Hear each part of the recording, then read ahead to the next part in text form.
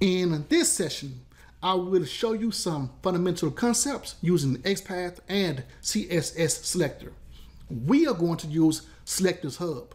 It is a tool that allows us to create our own values and copy some generated values.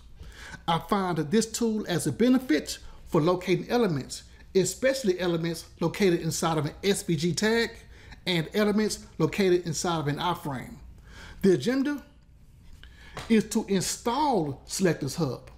Compare Selectors Hub with our browser's developer tools feature.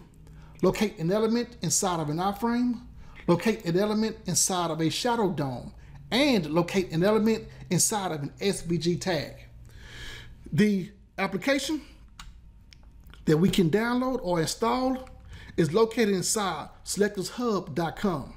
So first, we click the install button inside this free XPath plugin box. This page explains how to start using Selectors Hub. If we scroll down, we see it supports Shadow DOM, nested shadow DOMs, iframe, nested iframes, SVG elements, dynamic dropdown, sub menu, and dynamic invisible elements. I already have Selectors Hub. So let's go to this practice page. Right click the application, then select inspect. To use Selectors Hub, we select this menu icon and we see options. Then choose Selectors Hub. And this here portion is the Selectors Hub feature. Now, let's compare Developer Tools feature to Selectors Hub. In the DOM, an A tag represents a hyperlink. In the find feature, we see the placeholder says find by string, selector, or XPath. Therefore, it will return strings as well as selectors or XPath. If we type two forward slashes A, we see 91 results, but look what's highlighted yellow in the DOM. It's not an A tag, but a string with two forward slashes A. To find the link element, we need to cycle the results. One, two, three, four, five, six, seven, eight. Eight of 91 finally shows a hyperlink with the A tag. Now for Selectors Hub. It has a placeholder that says write and verify XPath and CSS selectors. Here, let's write the same value, two forward slashes A, then enter. We see it shows 84 elements. To see all 84 elements, then turn off the auto-generate selectors. Press enter in the search box, and each element shows up. That's accurate if you only want to return the number of links in the web page. Next is locate an element in an iframe. Inspect this first crush field. It has an input tag, ID attribute with an ID value of INP underscore val. With XPath or CSS selector, we will see the same number of results. With XPath, let's write two forward slashes, input, square brackets, at ID equals, two single quotes. Within the quotes, let's add the IP ID value of INP underscore val. We see two results.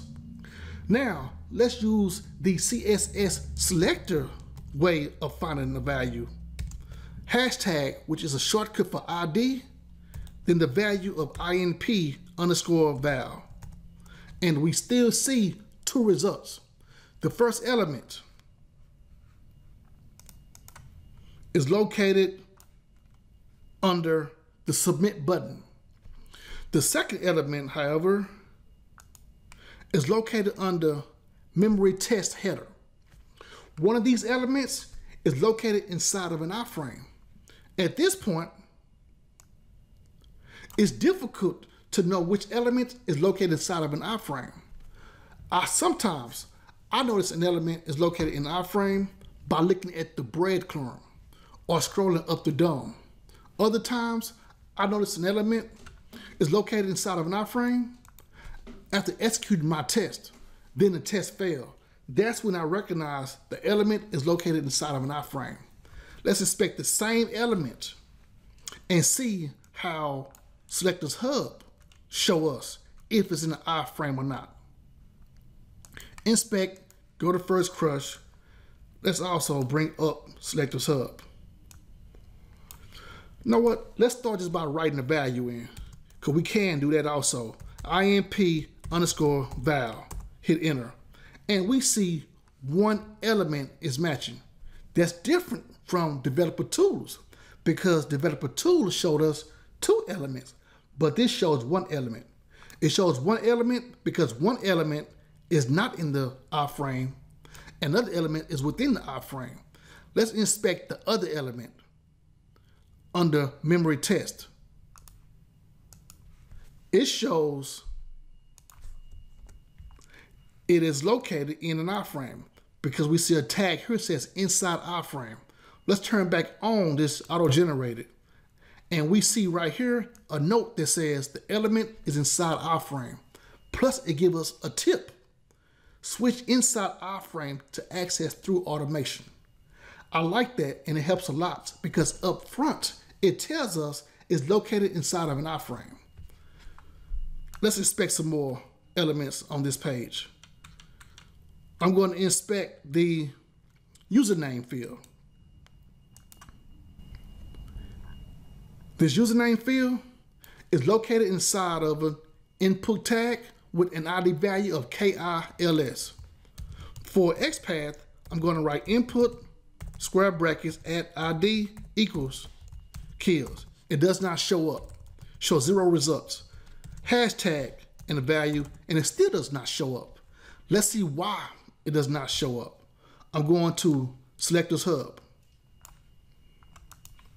It does not show up because it's inside of a shadow DOM with the note that says alert. The element is inside of a shadow DOM. That's the difference with Selectors Hub.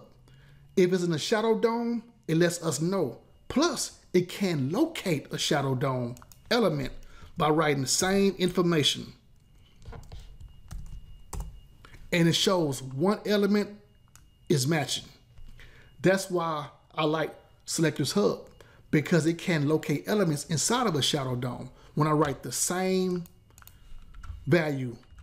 The SVG element is challenging in the DOM because SVG is very difficult because we cannot find it the normal way of using XPath. I inspect the element and it is enable background. You see its SVG tag, two forward slashes, SVG did not find the element. I'm going to copy the element like some people do. Copy the XPath value and you will see how it still does not find the element. Copy, copy XPath. And I'm going to paste the value. It does not show up. If I go to Selectors Hub and paste that same value, it does not show up. Even if I write two forward slashes SVG, it does not show up. However, if I inspect it again, let's see what it shows us. it provides some generated values that we can copy. I'm going to copy this first or the second value, paste it, and it shows us one element is matching. We can even copy another one, like this second one or this fourth one, and it will show us a value. I wanted to take this time to show you Selectors Hub because it's something we can add to our automation process to help us find elements. Thanks for watching, and I will see you in the next session.